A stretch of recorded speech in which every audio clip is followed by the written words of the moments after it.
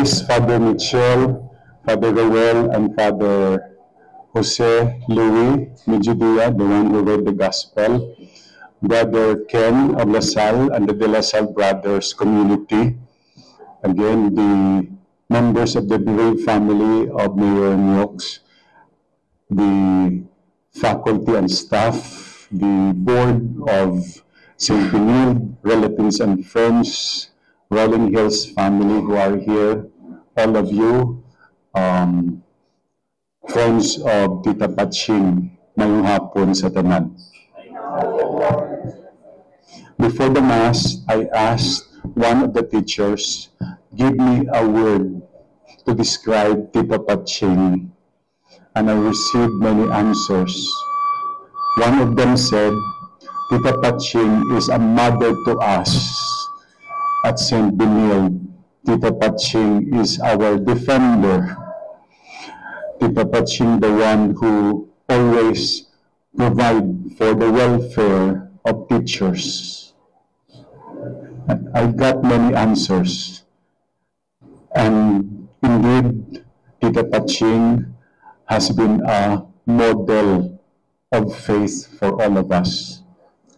She embodies the Lasallian charisms of faith, zeal for um, service and uh, um, community mission. And uh, indeed, true to the uh, vision of the Holy Founder, St. John Baptist de la Salle and St. Benil, she continued the legacy left to us by Brother Rowley. St. Benilde has been his brainchild. And when he passed away, I was one of the members of the board with uh, Sir being um, Ponce, then um, Doc Ating, Doc Doris, Doc uh, Joe, and many others. And we tried to, to find new pathways how to enhance the, the different aspects of formation at St. Benil. Same thing with LaSalle Tech and other institutions related to, to the mission of the Holy Founder. On a personal note, Tita Patching, as a woman of faith, has been a friend and believer of quality education, formation, and mission. She has been very supportive of our Sacred Heart Seminary as the heart of the diocese. In fact, so many of our seminarians she supported and most of this already priests now. To mention some names, the one who read the gospel, Father Jose Luis Mejudia, uh, si Tita Patching ang sponsor niya sa seminary. Same thing with Father Ernesto Salvador. In fact, Father Ernesto Salvador would call Tita Patching as his second mother, coming from boys' home. And then, may seminaryan no, si Kent Casiano. No? And then, also, Father Jomar Solano. And ang mga taga-Granada, kag-Alangilan, ng mga pari, na si Father Mitchell is Alangilan. In fact, ang Church of the Triumph of the Holy Cross has been the project of the family of Tita Patching sa mga Ramos, Alunan, Bison, and Pontebella at the side of the Rolling Hills. It's called um, coincidence that today is the feast of the triumph of the Holy Cross. The exaltation or the triumph of the Holy Cross has been also the triumph and exaltation of Tita Patching. Just to let you know that when I heard about the, her stay in the hospital for several weeks, and I was doing the morning masses at the cathedral at 7 a.m. I was just wondering how come supposedly the mass intention is for her fast recovery or complete healing. But then, ang nabutang sa mas intention for the thanksgiving of Patching, Momiko, and family. You see, in spite of, of suffering, she knows how to offer prayers of thanksgiving. I confirm it because when she was out of the hospital, it was August 19, and Mrs. Dali Alvarez, the wife of Lim Au, died. And I was the one who presided the funeral August 19, uh, 2 p.m. at the Roman Hills Chapel. The first person to greet me, Father, happy birthday. Monsignor, happy birthday. It was Tito Paching. Very thoughtful. Then dumating pa birthday ko and said, ah, you are out of the hospital na. Yes. Well, you have your mass intention every morning. Yes, Father. It's a prayer of thanksgiving, actually. How come it must be for your complete healing? Uh, I surrendered everything to the love and mercy of the Lord. Ang tao, galing na hilway, a person who has deep faith in the Lord, is a person who knows how to offer his or her total gift of self in the Lord. The second reading mentions about self-emptying of the Lord Jesus. The Greek word for that is kenosis. Jesus did his Paschal mystery with complete freedom, surrendering his total gift of self to the will of the Father. Once you are at the hands of God, you have nothing to worry, you have nothing to fear. In fact, even moments of persecution and suffering can also be moments of thanksgiving and praise for you.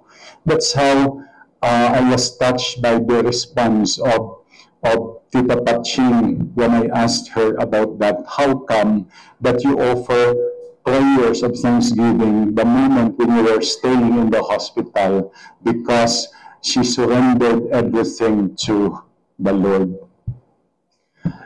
The family of the Pontevillas, Aluman, Ramos, Dizon, and all other families affiliated to you, you have that legacy of public service.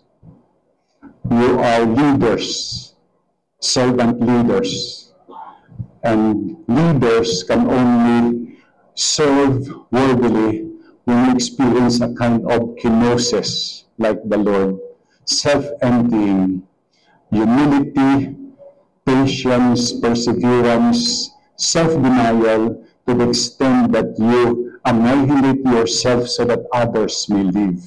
That's the meaning of kenosis. And indeed, you have the legacy in the history of Bacolod and the island of Negros of providing better life for the children and the young.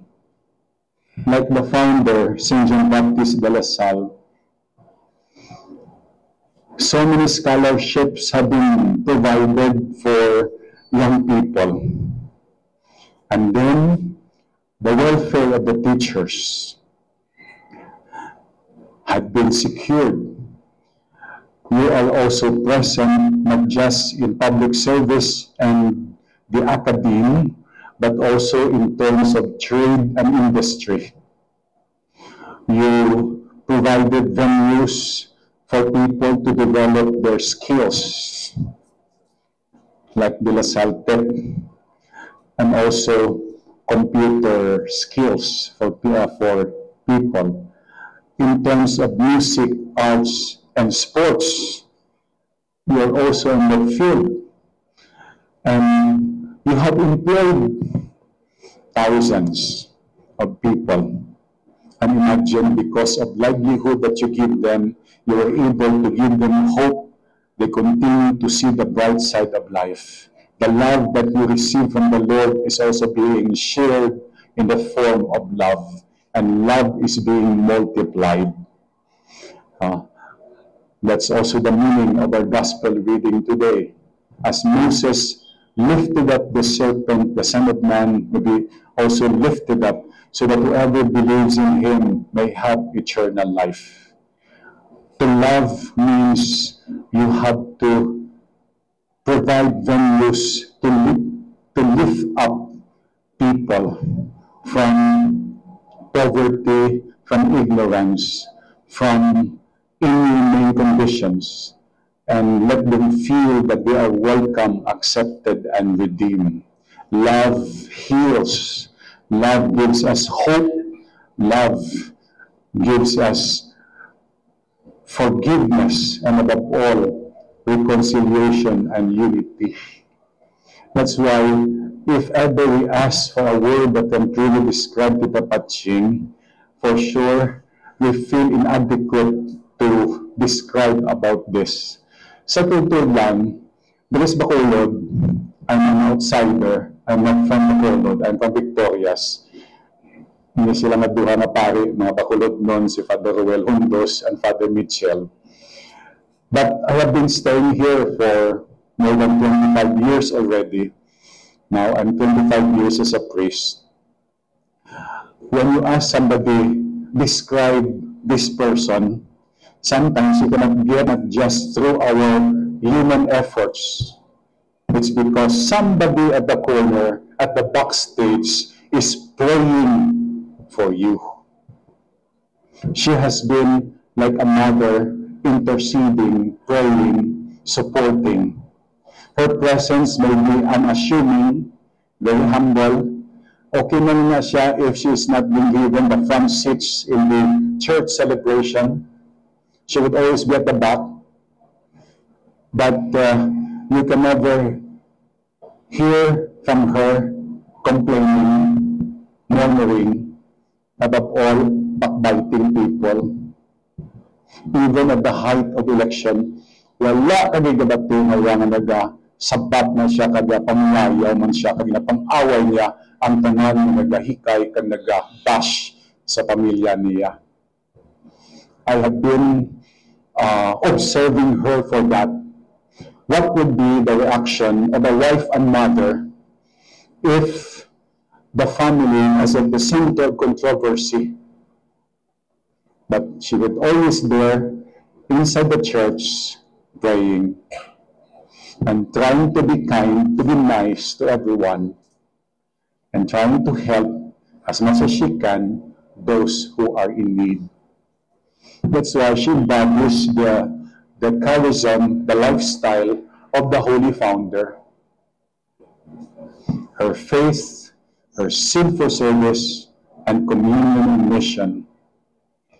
She would like to accompany us in all these important events and occasions of the school activities, of the, of the events of the city and the province. She's always present in all those mga events in our parishes and institutions of the church, in the NGOs, with all the awards given to her. But now she will, she can accompany us more. Now that she is exalted, she will accompany us, uh, motivating us, praying for us, so we come closer to Jesus. Her mission became wider.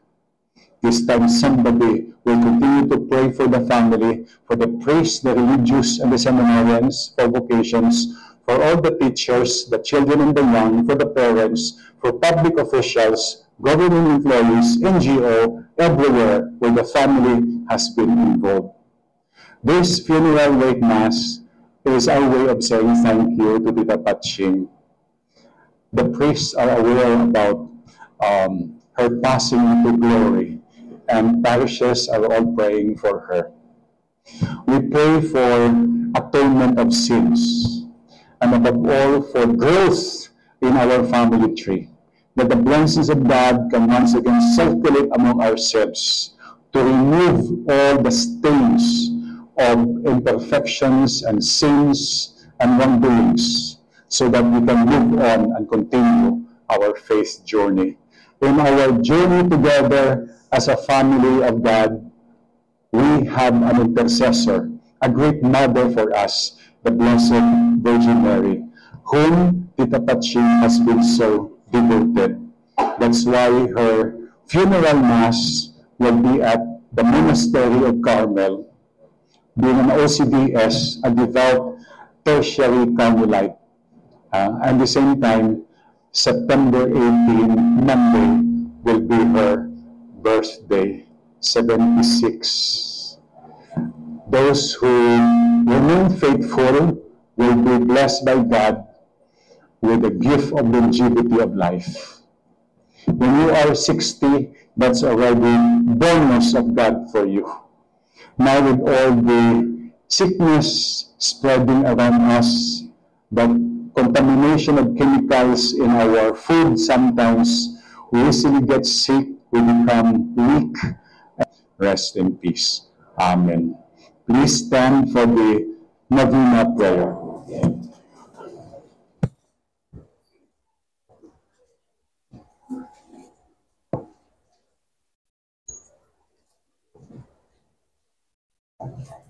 Moving prayer for our beloved Mom. Dear family and friends,